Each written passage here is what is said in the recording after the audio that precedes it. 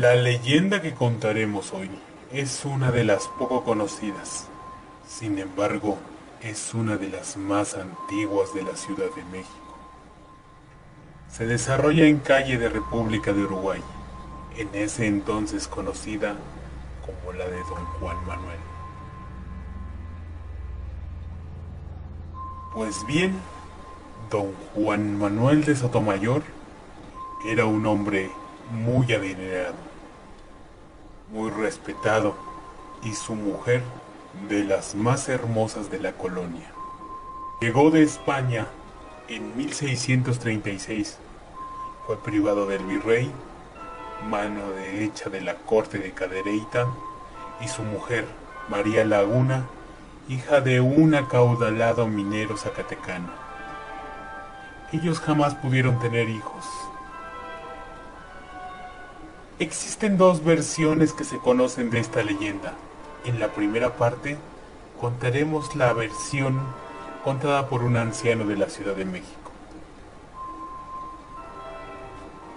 Se dice que en una noche oscura, la que llegaba don Juan Manuel a su casa sorprende a su mujer con otro, pero solo ve salir una sombra de su casa. Pero no alcanzó a distinguir de quién se trataba. Tras esto y una gran discusión, don Juan Manuel decide encerrar a su mujer en una casa donde solo le daba de comer agua y pan. Se cuenta que en el mes de septiembre, en la casa de don Juan Manuel se empezó a escuchar ruidos extraños que provenían del interior de la casa. Y en una ocasión vieron salir llamas del último cuarto. Los pobladores se alarmaron y llamaron a los bomberos de esa época. Al tocar y abrir don Juan Manuel, le dijeron que saliera que se estaba quemando su casa. A lo que dijo, no, aquí no se está quemando nada. Al entrar los bomberos no encontraron nada, solo la casa solitaria. Pasado un tiempo, se comenzaron a notificar asesinatos de jóvenes hombres, apuñalados, todos siempre pasados las once de la noche. La población empezó a temer se cuenta que don Juan Manuel hizo un pacto con el demonio. Este lo que hoy inspiró que tenía que salir todas las noches y matar a un hombre y que él mismo le diría cuando diera con el amante de su esposa. Y así lo hizo por mucho tiempo. Salía, identificaba a su víctima, se acercaba, y le decía, ¿qué horas tienes?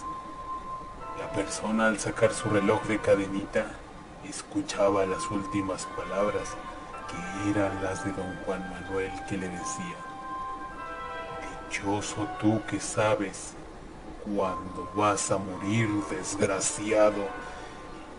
Al escuchar estas palabras, don Juan Manuel los apuñalaba de una forma muy horrenda y con una hazaña hasta dejarlos completamente inmóvil. Pasó algo de tiempo desde que empezó con sus fechorías. Lo veían en las calles ebrio durante el día y con una finta desfachatada. Se decía que tomaba la sangre de sus víctimas para ofrecerla al demonio, porque las llamas fueron vistas en más de una ocasión.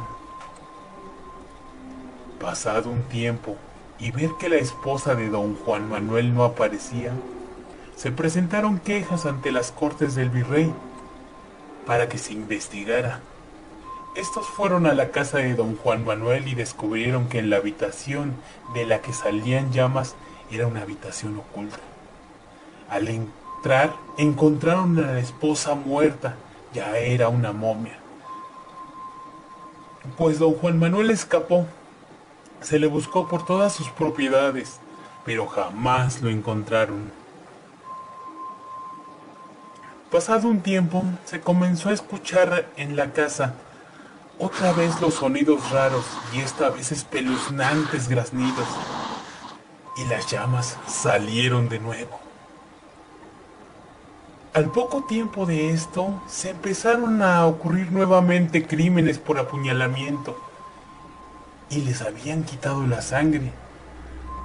Pues resulta que don Juan Manuel iba por una nueva víctima y al momento de preguntarle qué horas son, el sujeto en vez de sacar el reloj sacó un revólver de chispa. Lo llevaron a prisión y lo encerraron por algunos meses. En prisión empezó a delirar y decía que tenía que llevar sangre a su amo porque ese había sido el trato. Pues en los últimos meses don Juan Manuel se empezó a desesperar, deliraba y decía que les exusaban los espíritus palabras de muerte. Esa noche los presos que estaban en las celdas próximas testificaron que una niebla extraña llegó a la celda de don Juan Manuel y se convirtió en una llamarada enorme que no quemó nada, solo el cuerpo de don Juan Hasta dejarlo hecho cenizas. Después de las investigaciones, descubrieron que en su casa tenía copas de sangre, animales disecados, cráneos de cabras, ojos, manos, dedos humanos.